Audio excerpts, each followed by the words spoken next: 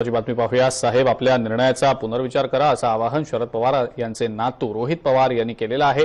विशेष म्हणजे अजित पवार यांचे पुत्र आणि शरद पवारांचे नातू पार्थ पवार यांनी निवडणूक लढवावी यासाठी शरद पवारांनी माढ्यामधून निवडणूक न लढवण्याचा निर्णय घेतलेला आहे. राष्ट्रवादी काँग्रेसचा कार्यकर्ता म्हणून पवारांवरील प्रेमापोटी ती मी पोस्ट केलेली आहे अशी प्रतिक्रिया रोहित पवार यांनी दिलेली आहे राष्ट्रवादीनं पार्थला किंवा कोणत्याही उमेदवाराला तिकीट दिलं तर त्यांना निवडून आणण्याचा प्रामाणिक प्रयत्न केला जाईल असंही रोहित पवार यांनी म्हटलेलं आहे या संदर्भात रोहित पवार यांनी जय महाराष्ट्राला नेमकी काय प्रतिक्रिया दिली पाहूया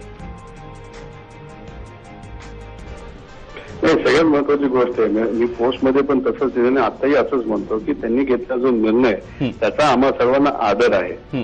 रिस्पेक्ट आहे पण शेवटी एक प्रेमापोटी आम्ही फक्त एक कार्यकर्ता म्हणून लोकांचं जे म्हणणं आहे ते फक्त त्या फे- फेसबुकच्या माध्यमातून लोकांपर्यंत आणि सर्वांपर्यंत आम्ही तो पोहोचवण्याचा प्रयत्न केला.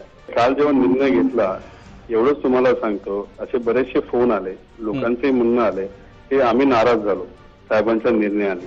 आता जेव्हा साहेब असा निर्णय घेतात की मी उभं राहणार नाही आणि त्याच्यातून जेव्हा लोक नाराज होतात हं. त्याचा अर्थ की प्रेमापोटीच लोक नाराज झाली आणि त्यांना तिथं साहेब नाही ते उभे राहावे असं त्यांना लोकांनाही वाटतं. बिलकुल.